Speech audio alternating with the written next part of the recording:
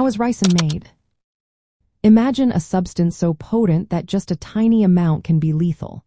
This is the reality of ricin, a highly toxic protein derived from the castor bean plant. Today, we will explore how ricin is produced, but first, let's understand where it comes from. The castor bean plant, scientifically known as Ricinus communis, is native to Africa and the Middle East but is now found in many tropical and subtropical regions.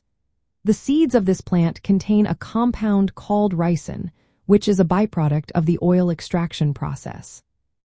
To create ricin, the first step involves harvesting the seeds from the castor bean plant.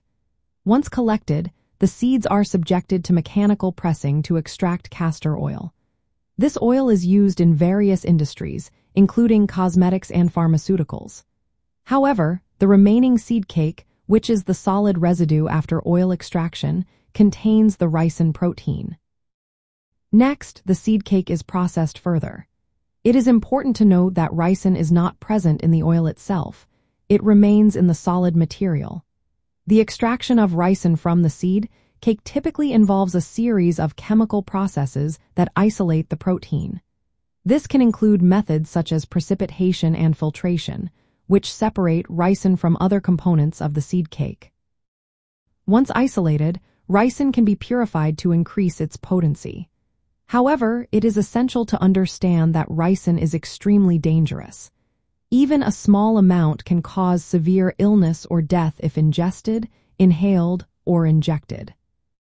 In conclusion, the production of ricin involves the extraction of seeds from the castor bean plant, followed by oil extraction, and finally, the isolation and purification of the ricin protein from the remaining seed cake.